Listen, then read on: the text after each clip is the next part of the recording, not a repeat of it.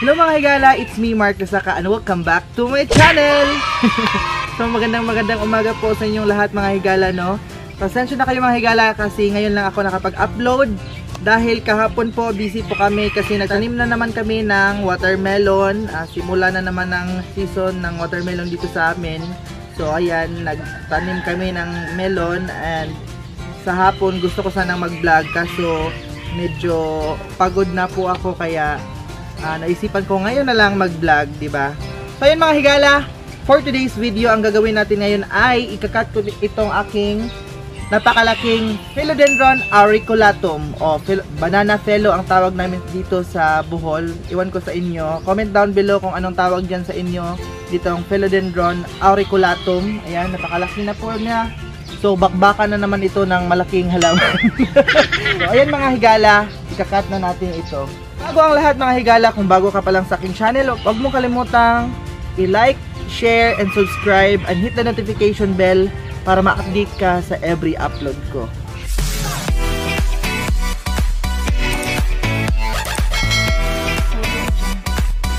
So ngayon, ikakat muna natin ito.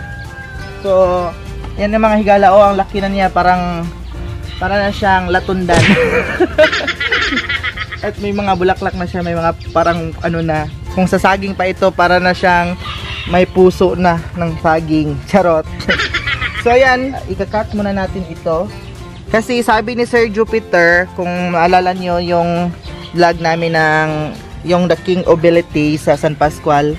Sabi niya, pag nag-cut ka daw ng mga philodendron, kung saan mo siya kinuha or kinat, uh, dun mo nang ilagay kasi para hindi siya mag ma-stress. Kapag inilipat mo ng ibang area, pag bagong cut, parang mag-a-adjust na naman siya sa kanyang bagong pinaglagyan. Ayan. So, ngayon, itong aking auriculatum or banana fellow, dito ko na lang siya ikakat para hindi siya ma-stress.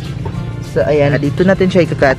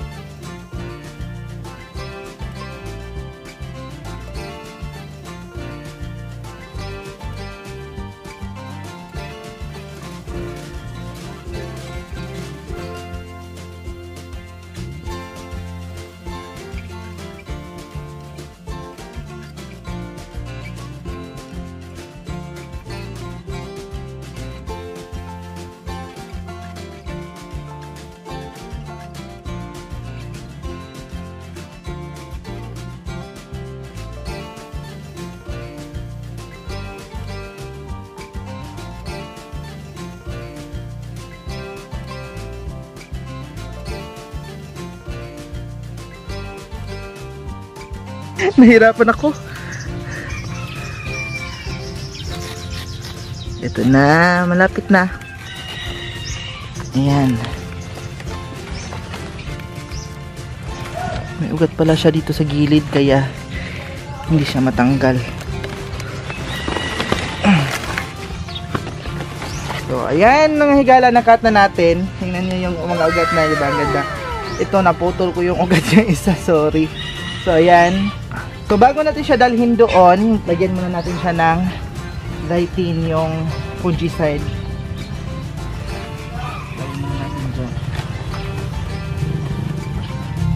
So ito na, hinanda ko ng aking uh, Daitin para ilagay natin sa mga pinagkatan niya mga higala. Saan yung kutsara dito? Ayan, nawala po yung kutsara kasi may kutsara po dito. Kinuha siguro ni Ate Nisi. So, kuha muna tayo ng maliit. Ayan. Pahid natin dito sa pinagkatan niya para hindi po mabulok o atakihin ng fungus itong ating philodendron auriculatum. Pati dito sa pinaka top cut ng ating philodendron. Yan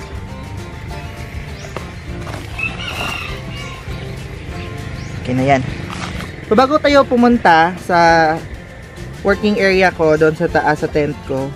Meron akong ikakat dito na baby auriculatum o banana fellow. Ayan. Kunin din natin ito, dadalhin natin ito, ikakat din natin. Yan mga higala, o, tingnan nyo. Baby pa yan ha, pero napakalaki na niya.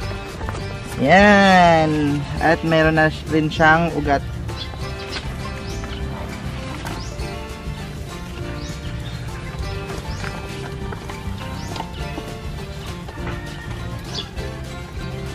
Diyan muna kayo.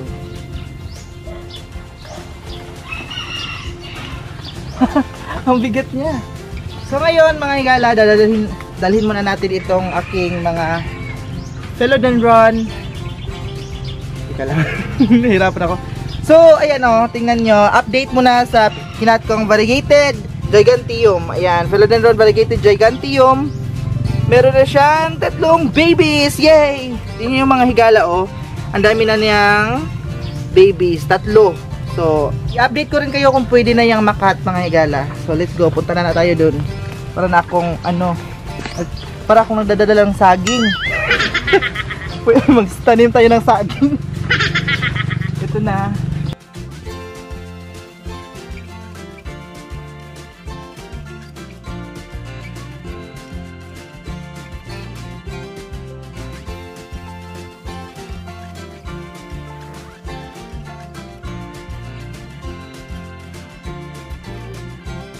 So ayan mga igala, dito na tayo sa aking tent.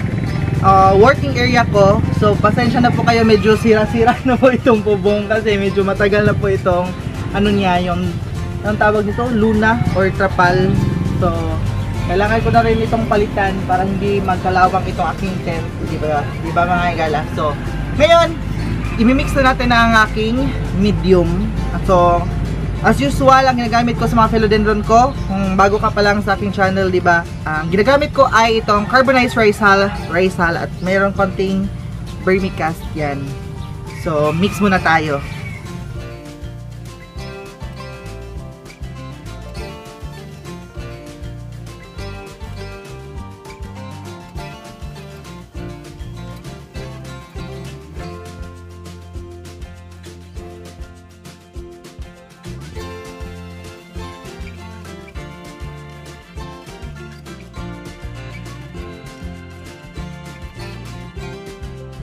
Mga igala, ang gagamitin kong pot ay itong ganito kasi gusto ko yung drainage niya. Tingnan nyo, ang dami, di ba?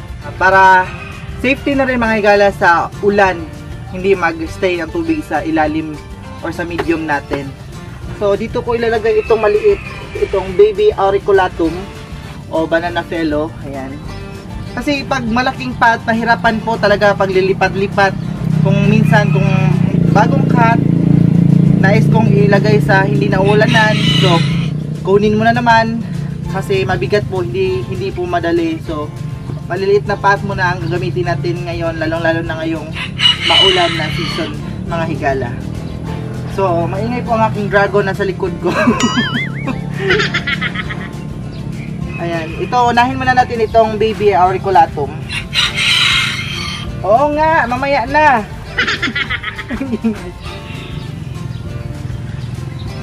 napakaganda na. Bali, dalawa po ito. Yung isa, binili po ni Ma'am Paz dyan sa Tagbilaran. Shout out to Ma'am Paz. Ito na po yung kapatid ng binili mo. kapatid. Ito po yung isa. So, napakalaki na niya. Diba? Ang, ang, diba? Tinawag po siyang banana philodendron dahil sa dahon niya para talaga siyang banana. Ah, yung alam ko, banana blossom yung tawag dito. Yung una, meron naman nagsabi sa akin na banana philodendron at sa akin, sa ginawa kong pananaliksik, or pananaliksik, or nag-research ako, ang tawag niya ay Philodendron auriculatum. So, ayan guys. Diba, ang ganda?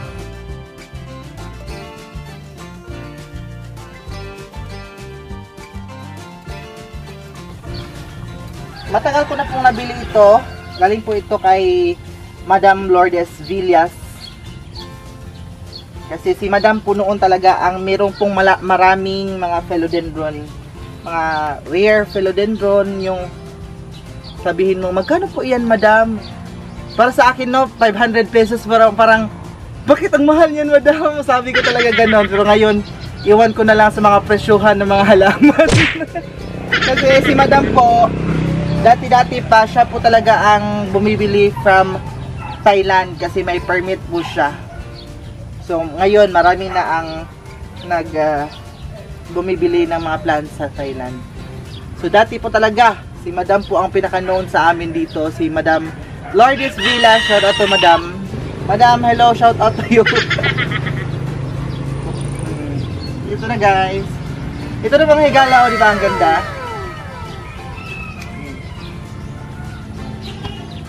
Wow. So, advantage din pala talaga pag maliliit ang pot, yung sakto lang po sa laki nila.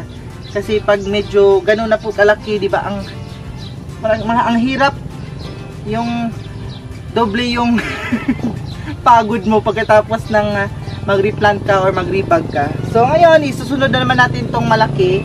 Ito rin ang uh, gagamitin ko kasi, ayan, perfect din ang drainage niya. So, yan po ang pinaka-importante sa akin pag nagre-repat ako or gumagamit ako ng mga ganitong pot, mga plastic pot aside sa seedling bag. So, yan. Sa mga philodendrons ko kasi ngayon nilalagay ko sa mga pot para mas beautiful po sila mga higala. yan. Balita ko may bagyo pa lang ang paparating. So, maganda-handa na po tayo. Yung mga halaman nating hindi pwede paulanan, lagay nyo na sa area na safety, na walang kahoy kasi posible pong matumba ang mga kahoy, yung mga luma nating mga bubong, safety na natin yan. So, parang first time po sa taong ito na or nung nung nakaraang taon na may dumaang bagyo sa Bohol yung uh, yung iba talaga sa Luzon, sa Mindanao. So, parang uh, first time na naman namin makaranas ng bagyo. Ngayon, sa ngayon lang ha, kasi parang hindi na kami nasanay. Kasi noong noon-noon pa, nasanay kami sa bagyo halos tapos yung isang bagyo na meron na namang darating. So ngayon maghanda maghahanda na rin kami. So ayan. Pwede na natin ito. Ay, ang bigat niya. Hindi kasi, hindi pa kasi tumayo. Tingnan nyo, oh, mga higala. Halos, abot na yung tent ko. Malaki na niya. Oh God.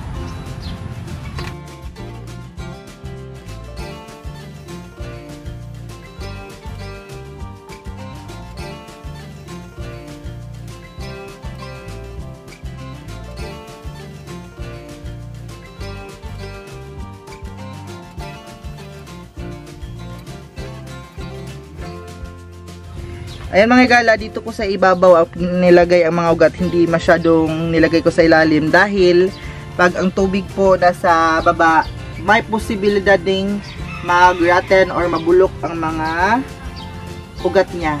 Kasi dito, minsan meron pang natitirang mga tubig. Dito sa itaas, wala na. Kaya ginagawa kong uh, nasa taas yung mga ugat. Ayan mga higala, o, oh, tingnan nyo. So ngayon, tatabunan na natin siya ng lupa or ating medium.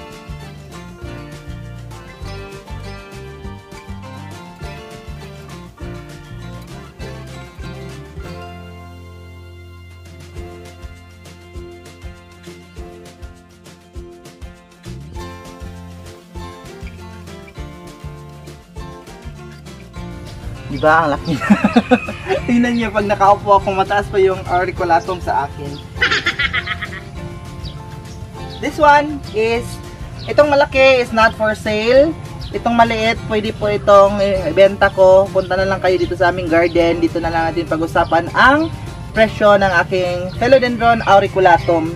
Ito, malaki na siya. Hindi, ah, baby pa lang pero malaki na. Anong tawag doon? Baby pa pero malaki na. so, Ayan, tingnan nyo. Tapos na nating i-tanim. Yan, napakalaki na nila. So, pag namunga ito, magsasaing tayo ng saging. Charot. ito na. Ayan, nakaganda ng mga dahon nila. Tumahimik ka nga dyan, manok!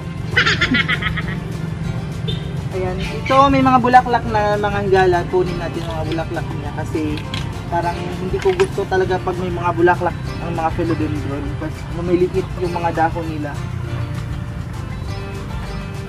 So yan, tapos na. So yan mga higala, tapos na nating ikat itong aking philodendron auriculatum o banana philodendron or banana blossom. Yan po ang mga tawag nila. So, hindi ko makakalimutang i-shoutout ang ating mga higala. so, shoutout kay Higala Hendrik Imbang from Tagum City, May Laka from Makati, Judy Cabalar from La Trinidad, Benguet, Norveline Guillermo from Cagayan Valley, at ito, isa sa mga always na nagko-comment sa mga videos ko, parang every videos ko present talaga silang nagko-comment si Ma'am Merly Sabado at si Ma'am Joy Avilis. Thank you, thank you ma'am sa inyong suporta. And uh, susunod naman higala natin i-shout out si Rodita Houselin from Alona Panglao, Tita Susan Lat from Malbar, Batangas, Abigail from Switzerland, Dina Santiago, and also to Mama Inday, Sheila Kanyuto. Ayan, Mama Sheila, ah, maraming salamat din sa suporta. At so mag-ingat din kayo dyan, Mama, Mama Inday. Ayan mga higala, tapos na natin ikat. So, sana may natutunan kayo. Kung meron kayong malalaki Philodendron auriculatum, ikat nyo na, paramihin na natin kasi hindi po ito sensitive din na philodendron.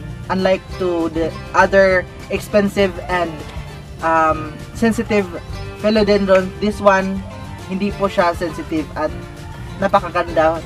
Pwede pong ilagay natin sa mga indoor or pwede pong indoor plant ito. Sana may natutunan kayo sa video ito.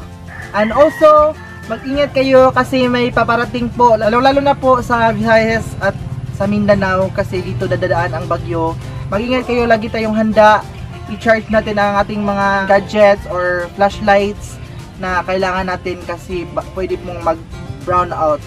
So, ayan. Maghanda din tayo ng mga importante, mga pagkain, yung mga papeles natin, ilagay natin sa mga safety na hindi po mababasa. So, ayan. Maraming maraming salamat mga higala. So, mag-ingat po kayo ha. Ito always kong sinasabi talaga, mag-ingat po kayo.